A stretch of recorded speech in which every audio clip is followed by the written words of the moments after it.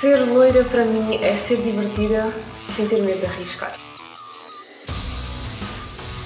O meu loiro significa atitude, confiança e ser feminina, acima de tudo. Para mim, ser verdadeira é gostarmos de nós, independentemente dos estereótipos que a sociedade nos possa impor. A moda para mim é a arte de expressar o que nós somos através da imagem.